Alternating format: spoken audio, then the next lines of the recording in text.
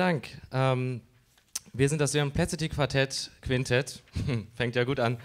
Und äh, heute mit mir zusammen spielen Felix Ambach am Schlagzeug, Julius Gavlik am Tenorsaxophon, Roger Kindhoff am Kontrabass und Niklas Röver am Klavier.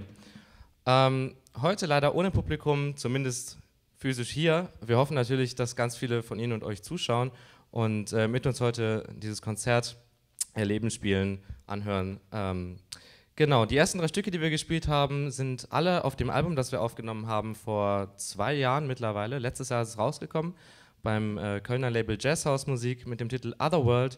Und das war auch der letzte Tune, den wir gerade gespielt haben.